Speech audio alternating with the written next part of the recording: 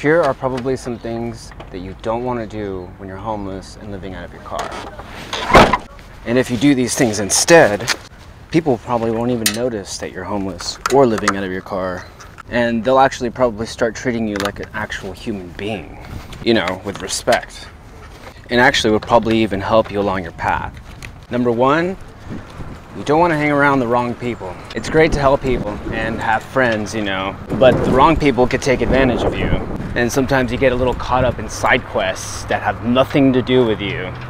Or worse, they'll hurt you or steal from you. You know what I'm saying? Everyone in certain doses. Not everyone is worthy of your time anyway. Number two, don't be tense and negative. Exercise, stretch out your body from like uncomfortable sleeping positions. Being homeless, you sleep on some pretty raw things.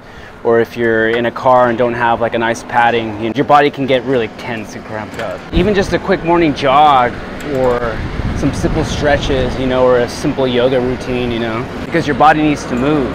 You don't need a house to stay badass, man. Number three, don't be sad and in your head because that really gets the best of us, man. Like whether we're in a house or not, meditate and stay calm because this is gonna keep your energy high, which will also add to the way that you carry yourself. And how you carry yourself will change how people perceive you and thus treat you. Remember, there are a lot more sunny days than there are rainy days, especially here in California. So just take a breath, relax. Number four, don't do drugs. Light an incense instead, or some sage or something, or some Palo Santo, and practice meditation. Start creating art again if you haven't, if you're not doing it already, or start a business, or grow a YouTube channel. The key is you want to keep your mind focused. You want to keep it focused on a path or a goal. Remember, you are on a mission, and you might have something people need to see, you know? And if you need to take something, take some supplements, you know, like oregano oil or L-theanine or vitamin C or something, or some fish oil to help the brain. Get the brain and the body feeling good. That's what's gonna make you feel good. And five, don't be dirty. Do not be dirty. Even if you can't shower. Just still try to dress nice and keep clean. And brush your teeth. And trust me, this will add to your overall well-being. That will add to how you carry yourself. It's a subconscious game, man. And six, don't be unhealthy, man.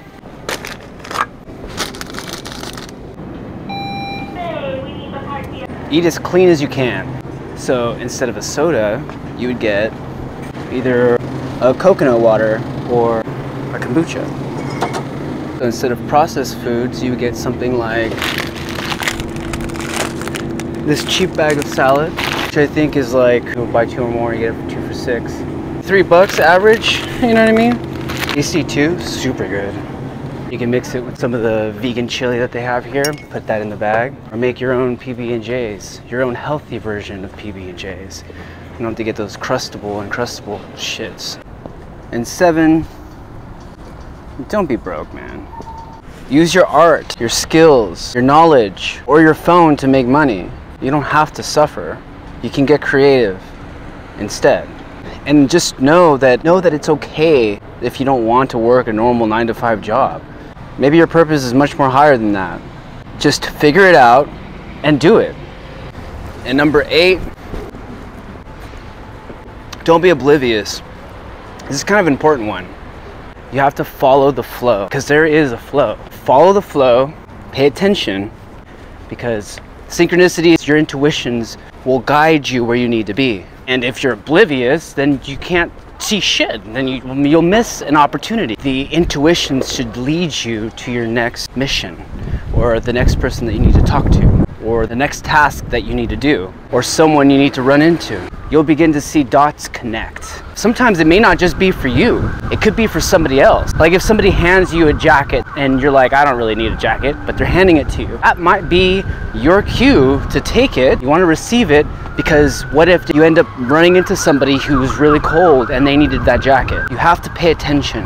Don't be oblivious. If it's not for you, it could be for somebody else. Helping others along their path too. Remember, we're all connected. I'm over here walking aimlessly in a parking lot. And number nine, don't ignore family.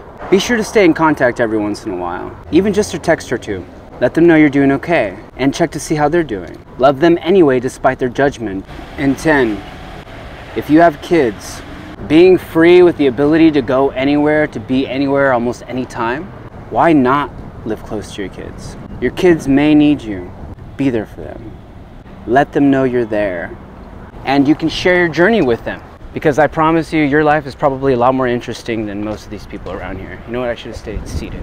And they will love you and appreciate you for it. And in the long run, will be inspired by you. Even if that's just them seeing you being happy in your own being with nothing to your name and in tune with who you are, they'll see it. And the fact that you're there in their town as a helping hand, being there for them, they will love you for that. It'll mean everything to them. Trust me. And one more thing don't ever lose hope. That is all. Thank you. Later. And number eight. Oh, look, I just found this on the ground.